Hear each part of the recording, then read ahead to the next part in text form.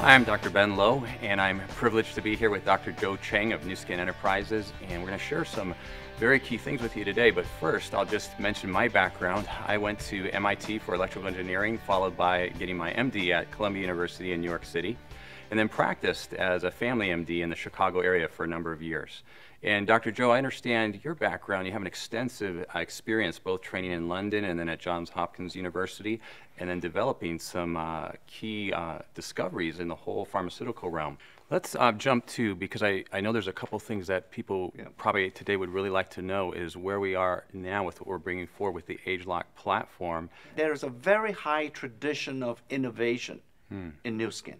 So when we, when we continue to innovate, we have reached a point where we are thinking if we are truly uh, committed to developing meaningful anti-aging products, whether it's for skin or whether for the rest of the body, we are really talking about trying to find a way to identify and locate sources of aging hmm. rather than just really covering up the science of aging right. with products we wanted to make sure that the next generation of anti-aging products, like I say, whether it's for the skin or for the rest of the body, that these products are going to bring the next level of benefits. Okay. And that is that the only way that we can develop those anti-aging products would be to go find those sources of aging. Hmm.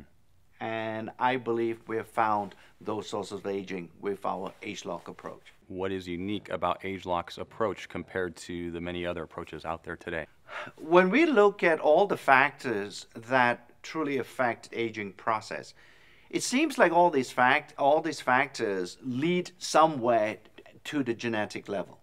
So we had that initial clue to find those genes that are related or regulate aging. So we, we, we went and, and sort of searched around the scientific community to see whether we can actually get some partners in this particular journey to look for the uh, sources of aging.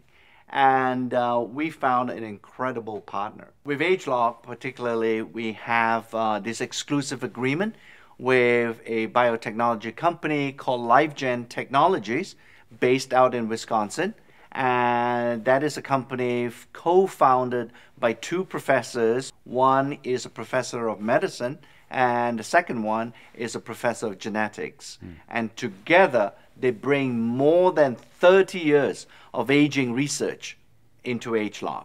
We can use their methodology and their 30 years of aging experience and knowledge to say, okay, this or these are the genes that we should be focusing on.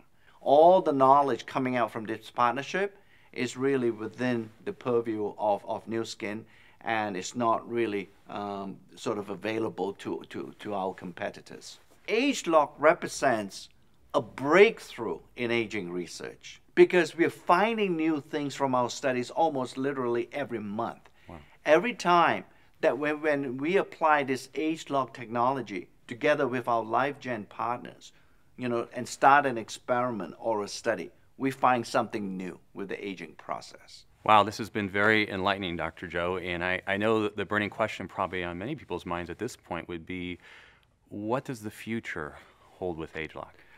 The future of ageLOC is extremely bright. In fact, the potential is most likely un, even unrealized today. Even I am, I, am not able to tell you what the full potential of ageLOC is. It's that exciting. However, be that as, as it may, let me give you an example. We are probably into the fourth inning of the ageLOC baseball game. Okay. We have a lot more innings to go. So what's so, coming is potentially even much greater than what has already been released so far. Absolutely. I think the uh, future ageLOC products are even going to be more powerful and will bring even more benefits to our consumers and our distributors.